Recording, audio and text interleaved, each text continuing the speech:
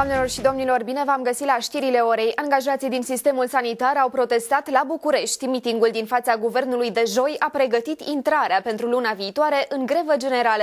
Sindicaliștii din Sanitas sunt nemulțumiți de legea salarizării și de noul regulament de acordare a sporurilor. Ei spun că după aplicarea acestora au pierdut sume importante din venituri, de la câteva sute până la 1500 de lei lunar. La miting au participat peste 10.000 de sindicaliști.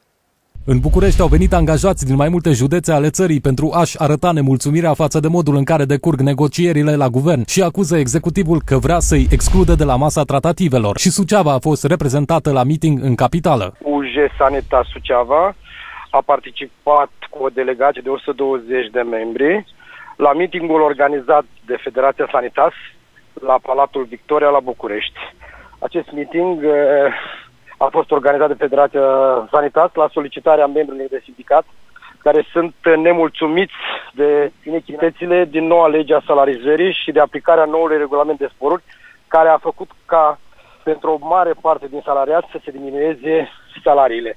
Fapt pentru care suntem nevoiți să respectăm un program de proteste și acțiuni concrete.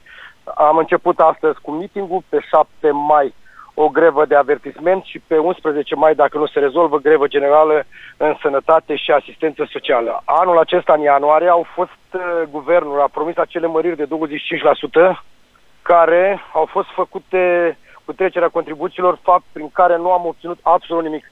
Acum, din nou, cu acest regulament de sporuri, care plafonează sporurile la 30% la ordonatorul principal de credite, face ca pentru o mare parte din personal, la personal SESA, persona- ă, infirmiere să scadă salariile. Ă, într-adevăr, au crescut salariile pentru asistenți și doctori, pentru psihologi clinicieni de asistență socială și pentru anumiți șefi de centre și pentru doctorii și asistenții din asistență socială, dar nemulțumirile sunt generale pentru că nici actul medical, nici actul de asistență socială nu se poate face decât în echipă. Fapt pentru care discrepanțele și inechitățile salariale au crescut considerabil. UJCNSL Frăția susține toate acțiunile și revendicările Federației Sanitas, fapt pentru care a fost alături la această acțiune, acest meeting de la București.